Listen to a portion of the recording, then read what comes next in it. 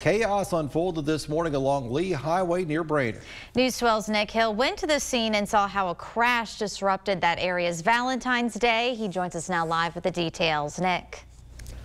Good evening, Emily and Andrew, and happy Valentine's Day to all of you. What certainly was not feeling the love today was a power pole that snapped in half when a U-Haul ran into it. And that collision was only the beginning of a very messy day in the Brainerd area. Well, we were, we were sitting in the office and uh, you got really startled. It's a loud noise, uh, really loud noise, and uh, apparently that U-Haul ran into a pole. For employees and clients in the Central Office Park complex, they saw a wild scene after hearing a bang outside. Uh, yeah, saw two people come out, a man and a woman, out of that U-Haul, come through the side alley right here. I'm not sure the direction past that.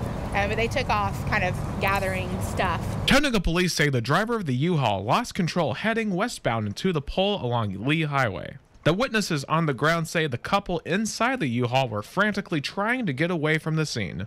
She had a pretty big laceration in the middle of her forehead. Um, she wasn't all the way there. I mean, you could tell that she was shaking up and uh, was looking for belongings in there. Um, it's pretty obvious that they were on something. At the crash scene, I personally witnessed debris on the ground such as a lamp, bags, and several needles. With the power pole taken out, EPB crews arrived at the scene to begin work quickly on replacing the light pole.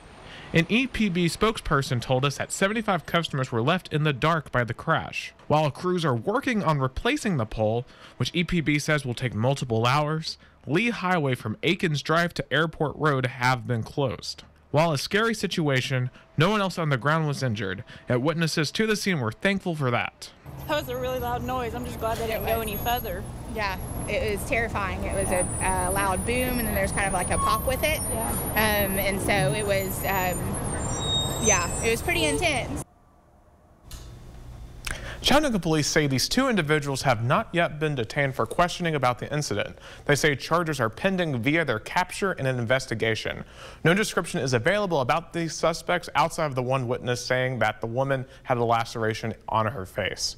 If you're in the Brainerd area and see anything suspicious, do contact Chattanooga police. Reporting live, Nick Hill, News 12.